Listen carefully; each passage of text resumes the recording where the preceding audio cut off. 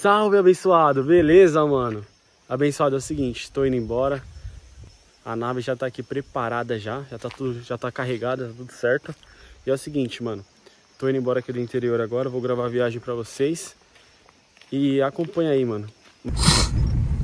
Fala, abençoada! Então aqui, ó, já estamos voltando. Agora são 7 horas da noite, porzinho do sol ali maravilhoso. E essa viagem a gente vai fazer à noite, entendeu? Então, eu vou gravando pra vocês em umas partes que eu achar legal, entendeu? Espero que eu não pegue trânsito. E é isso aí, mano. Aguarde até a próxima parte. Então, abençoado, estamos naquela serrinha que eu falei pra vocês. E é o seguinte, mano. É, aqui eu tenho que tomar bastante, tem bastante atenção, que tem muita curva, velho. Muita curva fechada. Então tem que ter muita, muita atenção aqui, beleza?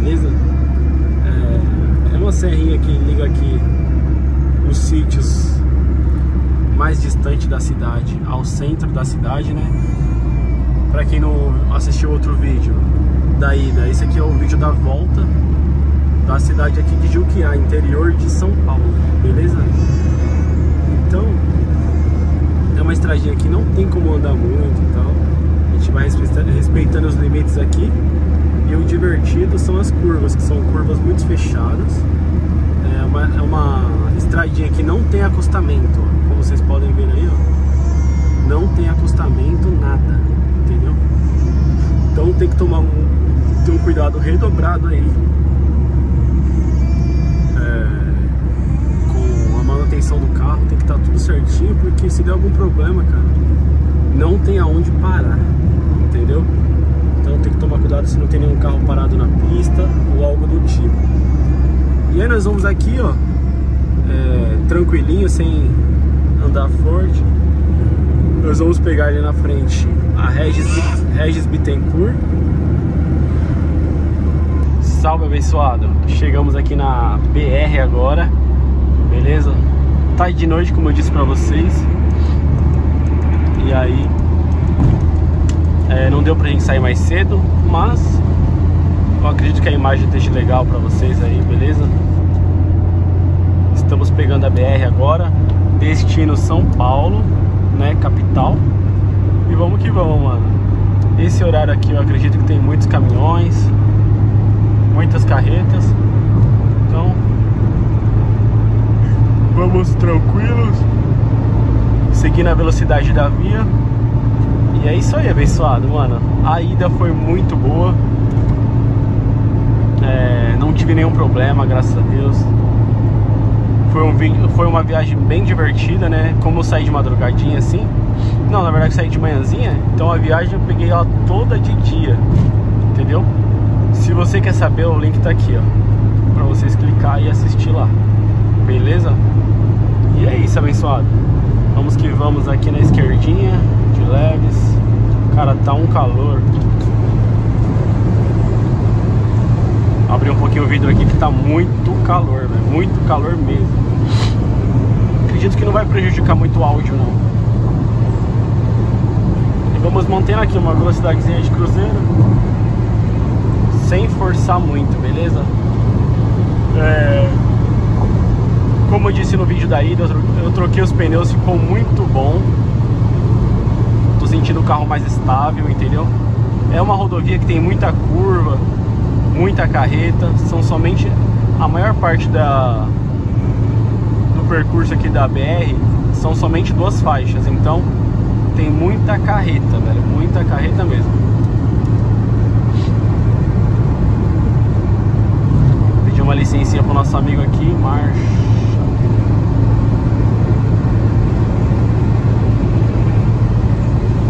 Vamos que vamos.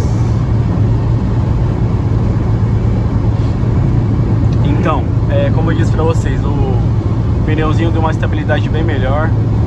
Agora tá top demais, velho. Top demais. Eu só preciso arrumar mesmo a suspensão aqui. Pra fechar, mano, pra, pra, pra eu ter a liberdade de acelerar o quanto eu quiser, entendeu? Por enquanto eu ainda tô limitado na questão de acelerar. E é o seguinte, mano, o carrinho vai muito bem. Esse Fiat Uno 1.4 ele vai muito bem na rodovia aqui, entendeu?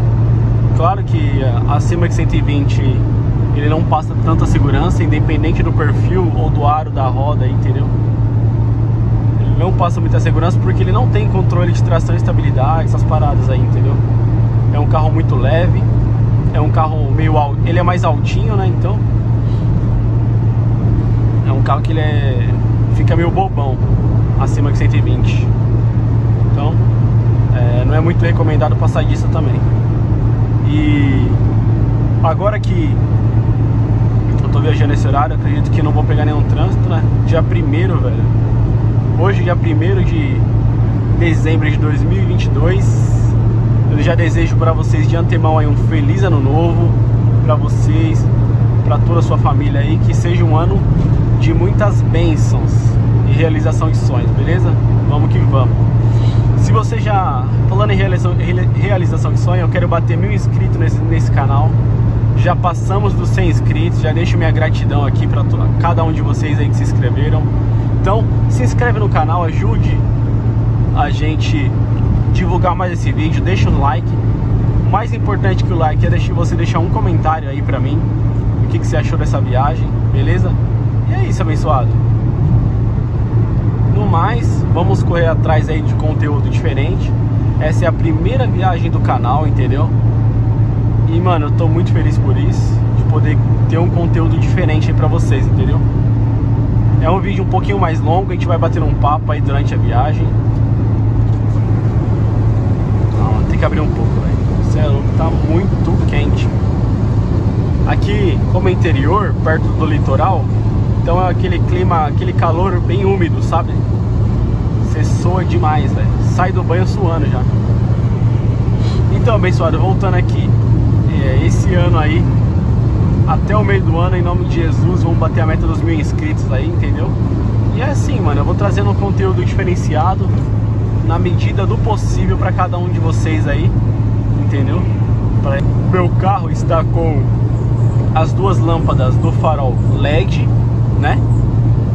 Se vocês até quiserem saber qual modelo e qual a potência do LED, eu vou deixar nos comentários aqui na descrição o vídeo mostrando detalhes dessa lâmpada maravilhosa. Olha só o quanto lumia. E também está com dois nos faróis de, nos faróis de neblina, tá a lâmpada Xenon. E aí, velho, olha só o quanto lumia esse carro. Eu espero que esteja dando pra vocês verem legal aí que dar a primeira reduzidinha aqui, né? Mas, deixa eu ver aqui, quem que tá travando ali na frente? Bom, vamos ver se ele sai?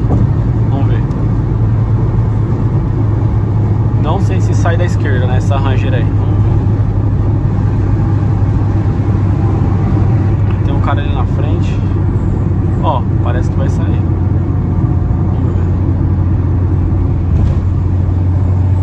Ah, é uma CRV.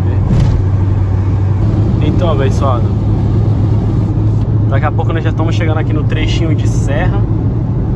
É, ele deu uma paradinha no vídeo aqui para poder ligar o GPS, para ver os radares, né? E é isso aí, mano. Graças a Deus tudo tranquilo. O carro tá muito econômico. Tá fazendo uma média aí no etanol de 13.5, 14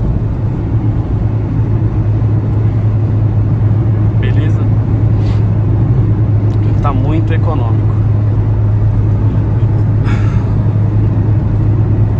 Mas teve um trecho que ele fez 10, 10, 10, 11 com litro, porque eu tava pisando muito, né? Mas no geral, se for assim, ó, 100, 110, ele vai ali no beirando uns 12, 13 aí, quilômetros por litro no etanol. Beleza? Esse é o consumo do Fiat Uno 1.4 aí na rodovia. Agora se você for uns 80, 90, aí você vai conseguir chegar nos 14. Então, abençoado, chegamos agora aqui no trecho de serra. Estamos subindo a Serra do Cafezal.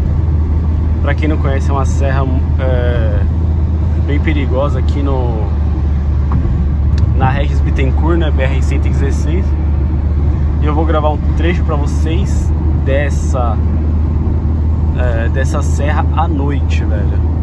para vocês verem o que que é essa serra à noite. Que assim, tem muita carreta, entendeu? Muita carreta mesmo. E eles não perdem o embalo, nunca, velho. Então se eles tiver que perder o embalo ou jogar na sua frente, eles vão jogar na sua frente, beleza?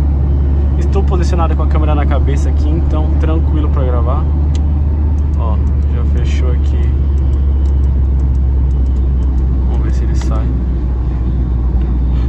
Fechou o lado da rodovia. Uma Já fechou uma faixa, vamos ver se temos duas faixas agora. É, tem muitos radares aqui a 60 por hora. Então tem que ficar bem esperto ali, ó. ó radarzinho ali. Então já tô na marcha, tô de quarta marcha aqui. Vou passar tranquilo. Radarzinho de quarta marcha. Fechou. E é o seguinte, mano, ó. Tá, agora tá bem melhor para subir essa serra porque depois da reforma que eles fizeram, não tem mais mão dupla, entendeu? O máximo que vai ter aqui é duas faixinhas e tal, para cada lado, que é tranquilo também, de boa, beleza? Vou passar essa carretona aqui. Aqui na frente é um cotovelo, velho. Ó. E ele vem como babando aqui, ó.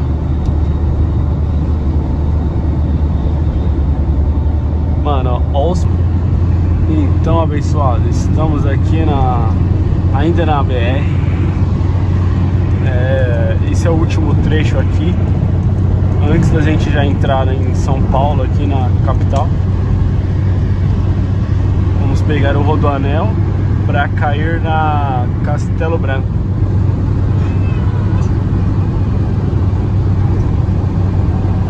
E é isso, abençoado Pra entradinha lá falta 5 km. Anel.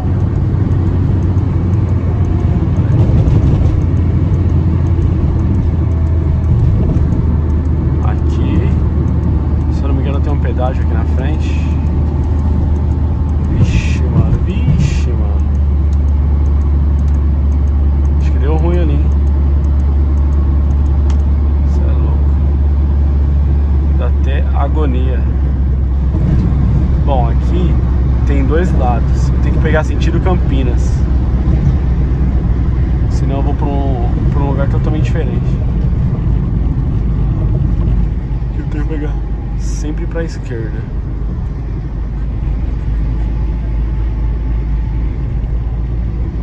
Pera aí. Oi?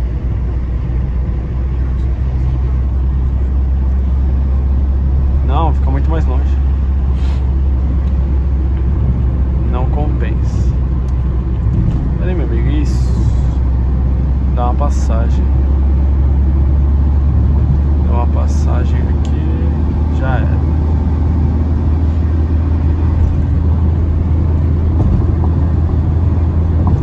Agora vamos pegar um trecho aí de 13 km para depois pegar Castelo, da Castelo, Marginal e aí de boa.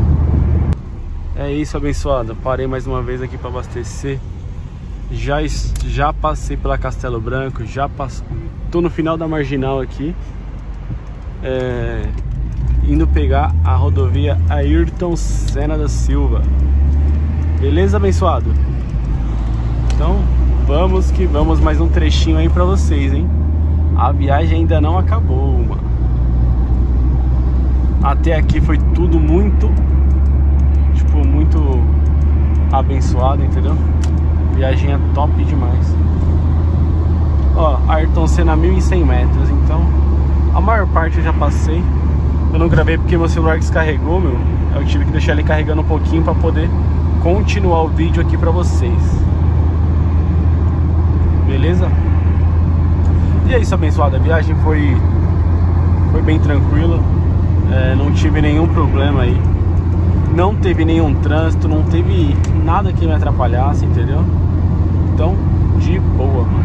De boa, de boa, de boa. Abençoado, eu vou encerrar o vídeo aqui, que é mais ou menos 7 minutinhos só de rodovia aqui, eu já vou sair pro bairro. Então eu vou encerrar o vídeo aqui, beleza? Você que ficou até aqui, meu muito obrigado, Deus abençoe. É, deixa um like, comenta aí o que você achou dessa viagem, comenta se você tem alguma dica ou alguma crítica construtiva, beleza? E não se esquece de se inscrever no canal, beleza? O vídeo foi esse, a viagem foi essa, top, beleza? Eu fico por aqui, valeu, falou e fui!